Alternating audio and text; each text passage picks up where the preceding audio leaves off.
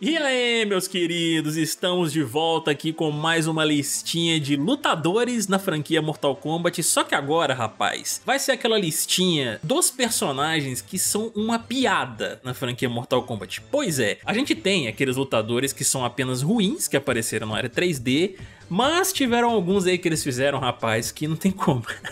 Além deles serem ruins, eles se tornaram sim um motivo de chacota na franquia por diversos motivos, seja de design, participação na história, clones que eles são de outros personagens, entendeu? Então, saudações deles, eu sou Caio Nobre, vamos lá para essa listinha famigerada aqui dos personagens que se tornaram uma piada na franquia Mortal Kombat, entendeu? E se você está curioso aí, cara, já está se divertindo com esse vídeo antes mesmo dele começar, já deixa o seu likezinho, se inscreve no canal e ativa o sininho para ter notificação dos próximos vídeos, pessoal. É uma regra do YouTube, se vocês não ativarem, vocês não recebem os nossos vídeos. E antes de prosseguir com esse vídeo, galera, eu tenho que mostrar um negócio para vocês. Aguenta aí rapidinho, eu vou fazer um pequeno corte aqui e vocês vão ver que coisa foda, manos. Vejam só. Eu terei a minha vingança. Sua carne vai derreter. Pois é, meus amigos, olha só essa máscara deliciosa aqui do Scorpion no Mortal Kombat 11 em tamanho real que foi enviada pra gente aí pelo nosso querido amigo Renan Ferraz. E eu vou deixar o Instagram dele aqui embaixo, pessoal, no primeiro comentário fixado, para vocês acessarem lá o perfil dele, verem os trabalhos que ele faz. Ele faz, além dessa máscara, de outros personagens também. E vocês podem fazer a sua encomenda, cara. Acessem o link aqui, sigam ele no perfil lá e mandem um direct para ele, cara. Se vocês quiserem fazer uma encomenda, ver com ele direitinho e tudo. A máscara, qualidade excepcional, coube certinho no meu rosto. Mandei para ele as medidas do meu rosto, né, para ele poder fazer a máscara no tamanho ideal aqui e tal. Gostei demais, cara. Perfeito. E eu tô me sentindo escorpetinho aqui, gente. Eu sei que eu não sou, mas é, é muito da hora, cara. Renanzão, muito obrigado aí, meu amigo. Show de bola demais o trabalho. E, novamente, galera, acessem o link do Insta dele aqui embaixo no comentário fixado, beleza? É isso aí, meus amigos. Deixei de ser o nosso querido escorpetinha. Estou de volta aqui como Caio pra gente poder continuar esse vídeo aqui dessa lista de personagens que se tornaram piada no Mortal Kombat. E bora lá, mano. Sem mais enrolação, eu vou puxar aqui, não numa ordem específica, tá? De menos piada para mais piada, essas coisas assim. Não, eu simplesmente vou falando aqui que pra mim são todos piada no mesmo nível. E o primeiro que eu tenho que puxar aqui, meus amigos, eu acho que muitos de vocês devem concordar comigo nesse, entendeu?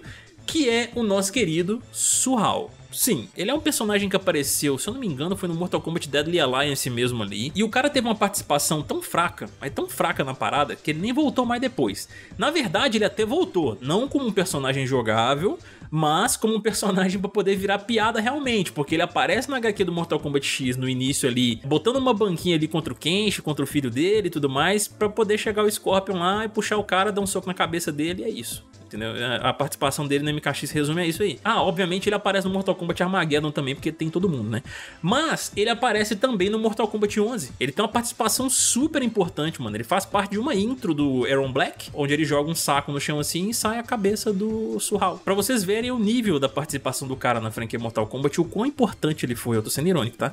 Mas sim, mano, o Surral, além de tudo isso que eu comentei, ele é um clone do Kano, né? Porque ele tem aquele dispositivo no peito que lembra muito do Kano também bem. Eu, pelo menos, não curtia o estilo de gameplay dele assim. Joguei um pouco com um personagem e não gostei. Então, não tem como, cara. Pra mim, ele é sim uma das piadas da franquia Mortal Kombat. E vamos pro próximo aqui. Ainda nessa linha de personagens que eles fizeram de clone do Kano, nós temos aí no Mortal Kombat 4, se vocês se lembram bem, vocês já sabem quem é que eu vou falar aqui agora, é o nosso Brod Jarek. Eu não sei porquê eles decidiram tirar o Kano do Mortal Kombat 4 e colocar o Jarek, porque ele basicamente é o Kano, só com uma skin diferente diferente. Eu acho que vocês se lembram até daquele Fatality esquisito, horroroso e bizarro que ele faz no MK4 lá, que ele solta os lasers do olho, que nem o Kano, só que quando ele termina a fatalidade, os lasers ficam lá, rodando ainda assim. E são dos dois olhos. E o Kano, ele tem um dispositivo no olho que faz ele soltar esse raio. O Jarek, não, nem tem explicação nenhuma. Ele simplesmente desenvolveu esse poder. Ele tá mais foda que o Kano, porque o Kano precisa de tecnologia, o Jarek não. O Jarek, ele desenvolveu um poder ali no Mortal Kombat 4. A gente sabe que não é isso, eles só tiveram preguiça mesmo pra poder desenvolver alguma coisa diferente pro Jarek. Falou tipo, ah,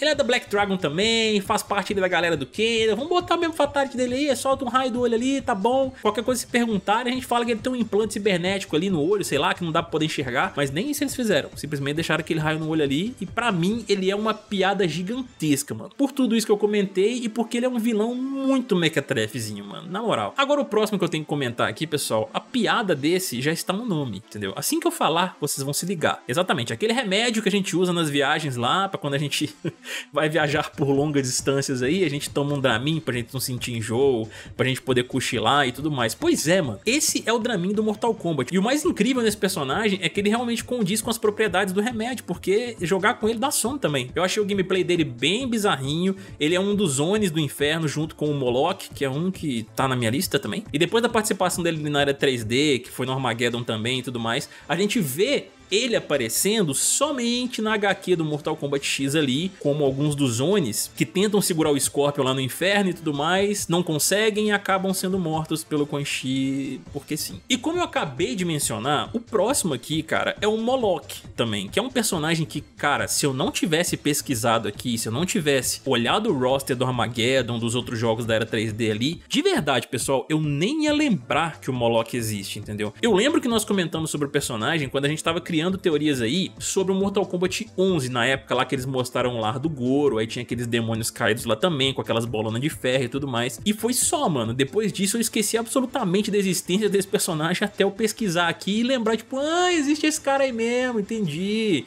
E ele aparece no Mortal Kombat Dead Alliance ali e eles ainda o colocaram como um subchefe da parada. Eu acho que é isso mesmo, né? Pra vocês verem como é que são as coisas, né? Tiraram Goro como um subchefe fodão, Goro, Quintaro, Motaro, seja lá quem for que era, que são muito mais da hora para poder colocar Moloch. O gameplay dele eu acho meio sem graça, a participação dele também é bem sem graça, assim, na minha humilde opinião, tá? E tanto ele quanto o Dramin, eles têm uma participação pífia nas HQs do Mortal Kombat X. É, é tenso. Agora, meus amigos, esse aqui eu tenho certeza certeza que vocês já estão esperando aí eu comentar sobre ele. Obviamente, não tem como eu deixar esse personagem de fora nessa lista, né, gente? Nosso querido Mocap. Vocês lembram da constelação Mocap, que foi criada no Mortal Kombat Armageddon, no final dele lá? Que a energia do Blaze foi tão grande que ele não conseguiu suportar, explodiu, e aí os restos dele subiram, parece, para os céus, e a pessoal de Edenia chamou de constelação Mocap, acho que era isso mesmo. Eu acho que eu acho que esse final arcade dele já resume muito aí do personagem para nós, entendeu? Porque o Mocap, ele é basicamente o que o nome dele diz, entendeu? É um personagem que é utilizado basicamente para captura de movimentos. Eles fizeram uma piada com isso ali dentro do Mortal Kombat. E assim, cara, eu acho da hora demais quando o pessoal da NetherRealm, da Midway na época lá e tal, criam esse tipo de piada poder incorporar nos seus jogos ali. Tantas referências que a gente tem de músicas, filmes e tudo mais dentro da franquia Mortal Kombat.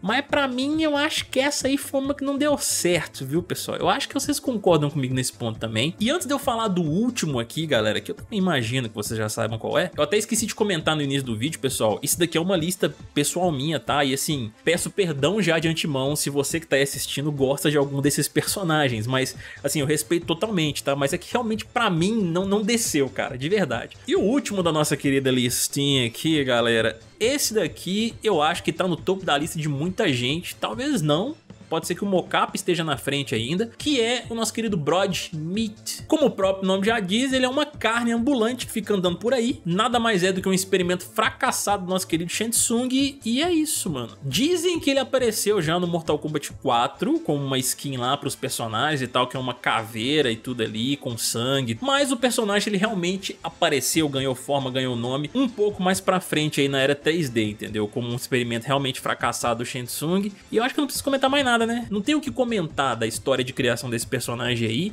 que é um pedaço de carne ali mal acabado que sabe lutar artes marciais e fica com o olho pulando pra fora. É isso. E graças a Deus eles não voltaram com esse bicho até hoje na franquia Mortal Kombat e eu acredito que nem vão voltar, entendeu? Porque eu acho que eles pesquisam muito bem aí os gostos da comunidade e eu duvido muito que o Meat e alguns desses outros aqui estejam em alguma lista de personagens que possivelmente voltam em algum jogo no futuro, entendeu? Ficarei muito surpreso se isso acontecer. E aí, pessoal, esse é o fim dessa minha lista, tá? Eu sei que tem muitos outros personagens aí que a gente poderia colocar aqui, como Cobra, Kira, Dairo, Darius e tudo mais. Só que assim, eu não considero esses personagens, o Mavado também eu esqueci de comentar, uma piada, entendeu? Eu só acho eles ruins mesmo.